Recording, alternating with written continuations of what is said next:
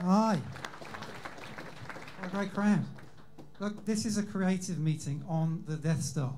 And I have sat in many creative meetings like this where weird and wonderful decisions get made, odd things happen, and often it felt like half the people in the room were on a different planet.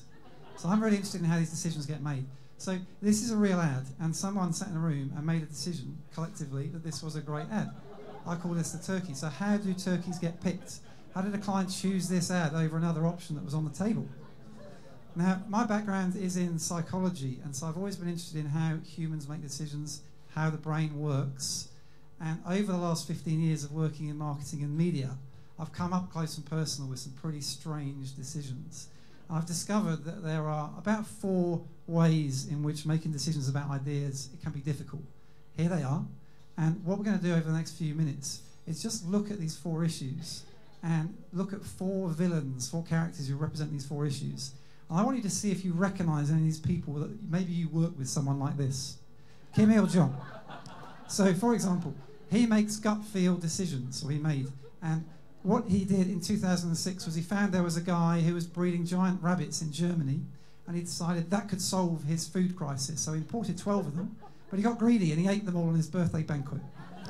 So gut feel is really important. For me, when I see a good idea, the hairs on the back of my neck raise. And gut feels great. The problem is we come up with supposedly rational ideas to hide those emotional decisions because we don't embrace our gut feel. Um, the second villain I want to talk about is the devil's advocate. Now, this is a role created by the Pope in 1587. For people that were being put forward to be sainted, they would find someone to chase after them and see what all the bad things were. Um, and then Pope John Paul II got rid of this role, and the number of saints per year went up a thousand percent. So the problem with the devil's advocate is the very notion of advocacy is about I take a position, you take a position. It's a tug of war. We dig our heels in, and that's wrong. A much better way is collective inquiry, where we together look for the right answers in a neutral way. Our third villain is Mao, who famously solved the wrong problem with his great leap forward, where he converted farms into backyard steel furnaces ended up with loads of low quality steel and 30 million farmers starved to death. And in the marketing sphere, solving the wrong problem is like Kodak here, who embraced the digital revolution by creating a camera, camera that had a digital preview screen, but you still had to take the film to the store to print out, solving the wrong problem. Our last villain is someone very scary called Carol Beer, famous for saying, Computer says no. And she represents the idea that data can only take us so far, whether it's market research, link testing your creative, clickstream data, user data, you can only take so far from data around ideas. Now, a famous marketing disaster is New Coke. So in 1985, they replaced the Coke recipe. And most people don't know, they did a huge amount of research. Overwhelmingly, in their taste tests, consumers preferred New Coke. But there were 10% of people in the focus groups who said, no, don't fuck with my Coke, that's bad. And when they went to market, it was those 10%.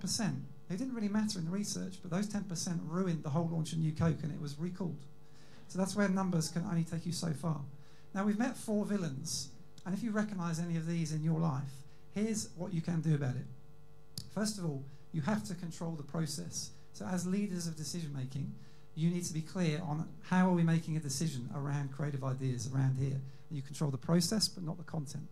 First of all, within this, you have to be clear on what the objectives are. You can't have all three of these things. And what we see is in all the meetings I've ever been in, clients hardly ever refer back to the creative brief and the objectives when they're evaluating creative, which is really odd. They're using a lot of gut feel, and gut feel is important. There's space for the heart and the head. Uh, what we need to do with it, though, is not hide it. We need to recognize it and get people to state their gut feel without having to give a reason. Um, and that's really important. Just state your gut feel. Don't try and rationalize it. Also, there is a role for the devil's advocate. So if you've seen hashtag Susan Album Party, you'll appreciate that we need to look for best and worst case scenarios. And everyone should play that devil's advocate role together at the same time, not leave it to one person to be the devil's advocate. Lastly, um, everyone in your team making decisions, they want their voice to be heard, but they want the leader to make the decision. So we need to actively listen. And the more senior we get, the worse we get at listening, right? And also, it's often not clear who is making the decision. So listen clearly, uh, listen actively, and decide clearly. Back in the Death Star, you will notice that Yoda is actively listening. You will notice that Princess Leia is clearly in charge, and C3PO has just presented some research. And now they're involved in act, uh, a collective inquiry. But in your world, if going to present ideas to the client is like going to Jabba the Hutt's cave, you could have a problem. And like Han Solo nearly spent his life um, entombed in carbonite in Jabba's trophy cabinet, you don't want to be trapped in a world of bad decisions.